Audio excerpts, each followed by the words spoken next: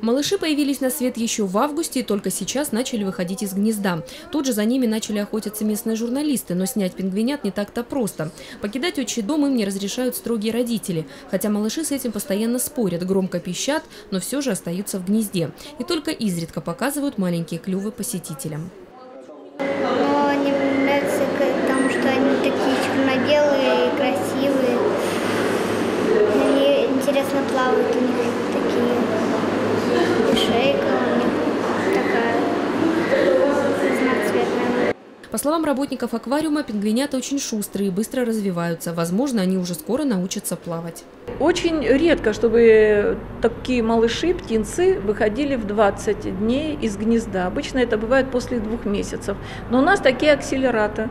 Они очень рано вышли, еще качались на своих ножках, но уже выходили из гнезда, и поэтому, конечно, к этому пристальное внимание. Это редкое э, вид явления. Пингвины Гумбольта, так называется вид этих птиц, занесены в Красную книгу. В мире их насчитывается всего 12 тысяч пар. Продолжить род сочинские пингвинята смогут через несколько лет, хотя пока неизвестно, какого они пола. У пингвинов это можно определить только с помощью анализа крови. Галина Моисеева, телекомпания ФКТ.